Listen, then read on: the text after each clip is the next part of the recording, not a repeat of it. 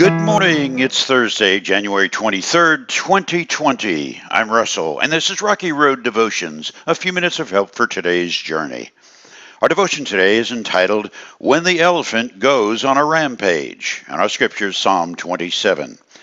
The Lord is my light and my salvation, so why should I be afraid? The Lord is my fortress, protecting me from danger, so why should I tremble? When evil people come to devour me, when my enemies and foes attack me, they will stumble and fall. Though a mighty army surrounds me, my heart will not be afraid. Even if I'm attacked, I will remain confident. The one thing I ask of the Lord, the thing I seek most, is to live in the house of the Lord all the days of my life, delighting in the Lord's perfections and meditating in his temple. For he will conceal me there when troubles come. He will hide me in his sanctuary. He will place me out of reach on a high rock. Then I will hold my head high above my enemies who surround me. At his sanctuary I will offer sacrifices with shouts of joy, singing and praising the Lord with music. In 2007, I took a little trip with a group of Baptist, Methodist, and Assembly of God folks to Zimbabwe, Africa. Our mission was to teach end times theology to pastors in a seminary, to build a building in 10 days for future students, and in our spare time, hold a vacation Bible school for 150 kids in 110 degree heat. I learned a lot in that 10 day adventure, particularly about dealing with adversity. On that trip, I met people whose daily tasks were dictated by whether there would be food somewhere in the coming week. When you live in American culture, adversity is only having a 4G network. By the end of the week, I was feeling guilty about missing the comforts of my home when my new friends were grateful just to have a roof over their school building to shade them from the relentless midday sun. We got one day of being tourists. We got to ride in an open Jeep like vehicle for a mini safari into the bush. Seeing wildlife in the wild is spectacular.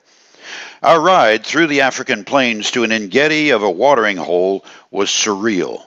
On that little excursion, I learned something very important to the life of following Jesus as a disciple when we were threatened by a beast that could have squashed our huge Jeep wagon and the dozen occupants without even breaking a sweat. The elephant blocked our pathway through the brush as we were headed towards the oasis, the watering hole. Not quite a lake, really, more like a mud hole. But that elephant considered it his mud hole, and he stood firmly unmovable, ready to defend his home and herd. We hadn't seen him until we were only 20 feet away.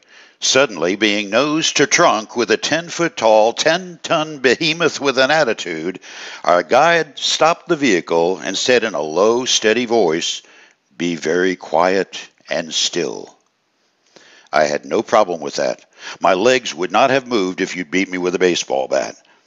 After several looks at us with eyes that resembled something I'd seen on a TV show about zombies and devils, the mountain of gray with a tail at both ends snorted and lumbered off, leaving a dozen American sets of eyes frozen open in disbelief at how fragile our lives were and how calmly our African host remained when borderline rage was staring us down and fear had imprisoned his passengers.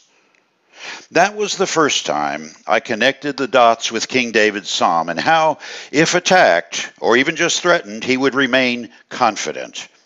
Perhaps this confidence grew from years of being protected in the wilderness from bears and lions as he protected the sheep that he was tending David understood the power of his God to keep him no matter the circumstances.